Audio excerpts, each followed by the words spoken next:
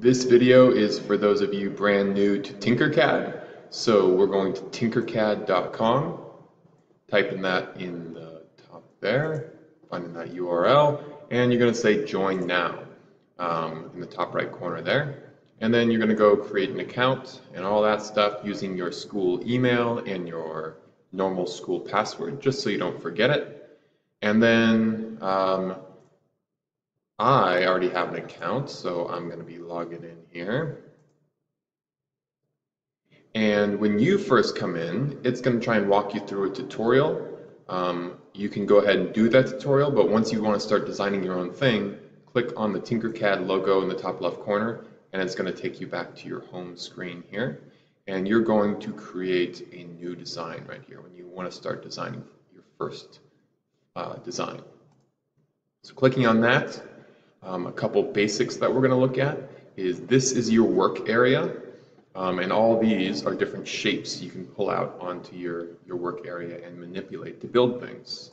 And then we have even more fancier shapes. We're under basic shapes right now.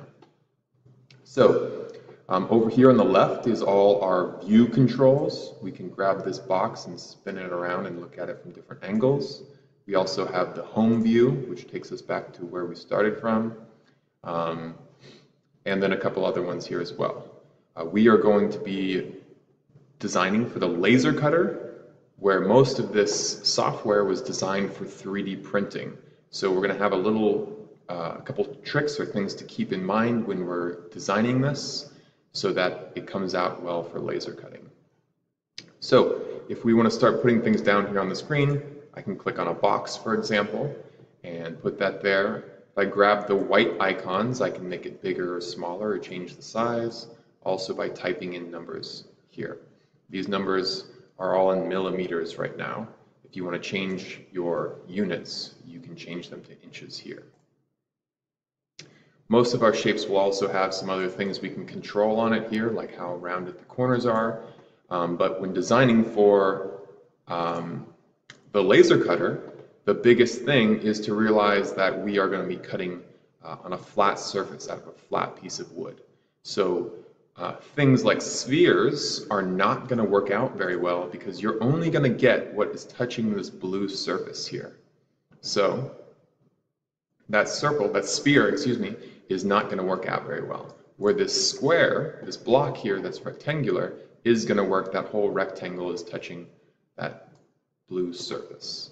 So you can start building your shapes. Notice you'll have kind of a 3D view. If you click orthographic, sometimes that makes it a little easier to design. Now I'm looking straight down on it. And you can put some triangles out there. Oh, but that's not looking like a triangle shape that I want. Realize sometimes you have to come to the side and rotate your shape to be uh, the shape you're looking at. And now if you click on that top view again, it'll go back to the top.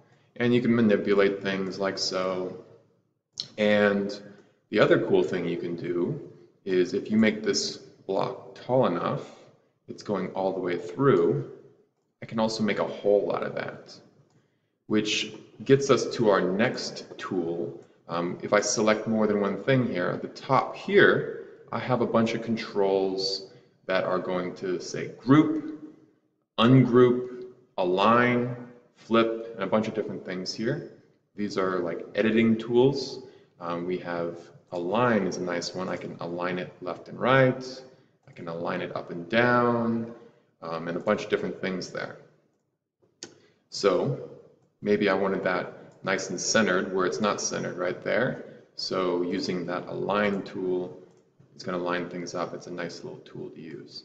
Now, the cool thing about making something a hole, like I did with this triangle, is that if I put it like that, and I want to cut away this triangle out of this block here, I can select both of them, and with that one being a hole, I'll say group, and now it has cut away that piece there. Um, and a couple little tips for you. That's the real basics here. You can go through and put text and play around with things here. A couple tips though. Uh, big mistakes people make is realizing when you go to export, if your piece is up there um, and not touching that blue surface, this block is not going to work either.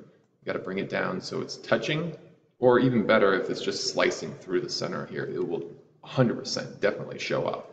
So when in doubt, bring it down a little bit like that. And when you're ready to export, we're going to say export right up here. So we can do it for 3D printing, which is not what we're going to do. We're going to use laser cutter right there. And now we have the laser cutter file saved. That's going to be in your Google Drive if you're using a Chromebook. And then when you are ready to laser cut, we will come over here to a new tab and we're going to app.glowforge. There's a login code that's posted on the wall there. Some of your classmates will point it out to you or I will if I'm here. And we're going to say, uh, we're going to just grab that and pull it on the screen here. And let's see what happens here. Takes a little moment here. Oh, I was just doing something a moment ago. So let's make that bigger so we can really see it. You can see that's the,